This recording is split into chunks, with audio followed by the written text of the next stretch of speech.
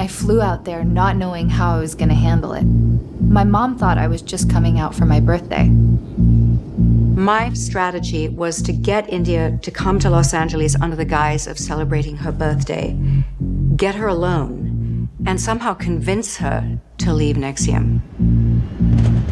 But I'd never done anything duplicitous with my daughter, and it just felt awful. When I was back home in LA, my hair was still falling out.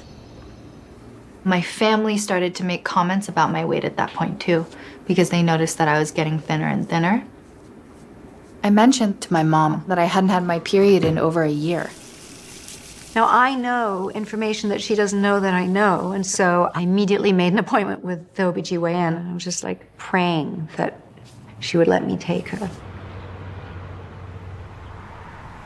We got in the car and we were driving down PCH, and I said, Are you branded? I didn't know how to react. I just kind of told her, Yeah, I have. I was branded. And that it was a positive experience for me. I said, Do you even know what you're branded with? I told her that it was a symbol of the elements. I said, No, it's not. It's Keith Raniere's initials. You're branded with his initials. I was like, No, they're not. And then I totally blew it. I mean, everything I did, I blew it. I was warned, like, don't say the brainwashing word and don't mention anything to do with cults. But I couldn't help myself. I immediately said, I know you're brainwashed and uh, you're in a cult. It turned really bad really fast.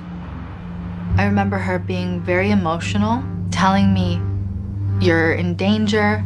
You should not go back there. These people are not your friends. And I didn't believe her. I told her that if she had given damaging collateral about me, I didn't want that to be the reason that she didn't feel she could leave. When she mentioned the collateral, I felt really afraid. The conversation in the car didn't go well, and I dropped her at the doctor's office. The doctor started to ask me all these specific questions about my life in Albany, which I thought were really strange. Like, she was a gynecologist, she wasn't a therapist.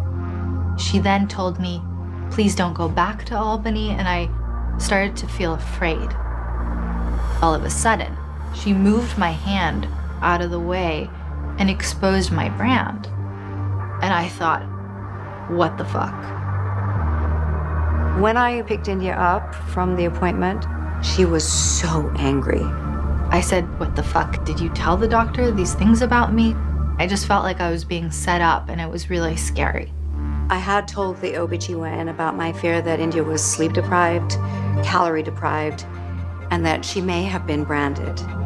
I was hoping that the doctor would be able to get through to her and warn her that she was compromising her health and her well-being. I was like every was, everything was sort of a, a desperate measure to get her out. But my God, this group had a you know had a hold on her.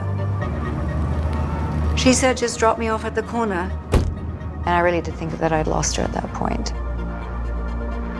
I went back to Albany, and that was the beginning of my mother and I not speaking. Cult interventions are very difficult. The person usually digs in much deeper. For India, it essentially reinforced what the cult had told her, you know, that her mom was against her being on this ethical path with NXIVM. And so that just made her click into her loyalty to the cult.